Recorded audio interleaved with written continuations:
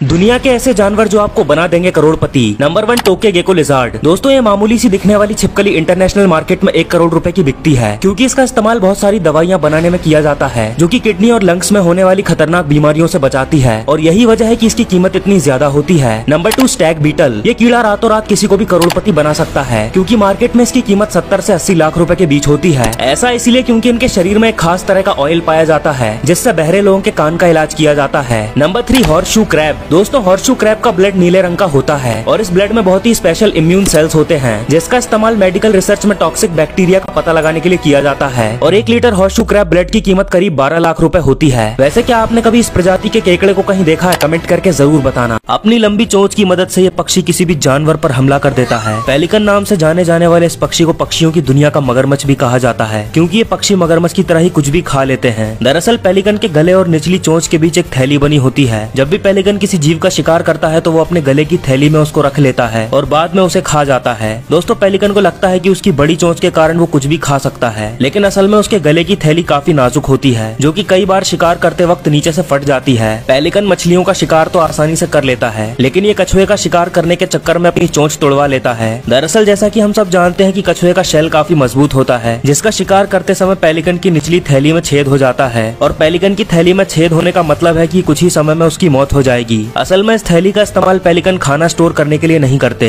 बल्कि पेलिकन जो भी खाते हैं, वो उनकी थैली से होते हुए उनके पेट तक जाता है। लेकिन अगर थैली में छेद हो जाएगा तो पेलिकन का सारा खाना बाहर गिर जाएगा। इसके बस एक बार से ही किसी इंसान की उंगली भी उसके हाथ से अलग हो सकती है। एलिगेटर स्नैपिंग टर्टल नाम का ये कछुआ अपने 1000 पीएसआई के बाइट फोर्स से किसी भी चीज़ को अपने मुँह में दबाकर चकनाचूर कर सकता है। और इसी वजह से इसे दुनिया का सबसे खतरनाक कछुआ माना जाता है, जो घास और मांस दोनों खाता है। ये ज़्यादातर अमेरिका और नॉर्थ फ्लोरिडा के जंगलों और तालाबों में पाया जाता है। Number two, electric eel. ये मछली अपने शरीर से 600 वोल्ट तक के करंट को जनरेट कर सकती है। ये अपने इस करंट की मदद से एक मगरमच्छ तक को मार सकती है। असल में ये इस करंट का इस्तेमाल अपने बचाव के लिए करती है। जब भी कोई शिकारी इसका शिकार करने की कोशिश करता है तो ये अपने शरीर से करंट छोड़ती है, जिससे उस शिकारी जीव की मौके पर ही मौत हो जाती है। Number three, slow loris. ये एक ऐसा जानवर है जिसे देखते ही आपको उससे प्यार हो जाएगा, क्योंकि इनकी बड़ी बड़ी आँखें और मासूम सी मुस्कुराहट लोगों को इनकी ओर आकर्षित करती है। इन्हें यूँ तो खतरनाक नहीं माना जाता, लेकिन अगर ये एक बार किसी को काट ले तो उस व्यक्ति को शायद ही कोई बचा पाए, क्योंकि इस छोटे से जानवर में इतना ज़्यादा जहर होता है कि किसी अच्छे खासे व्यक्ति की मौत आसानी से हो सकती है।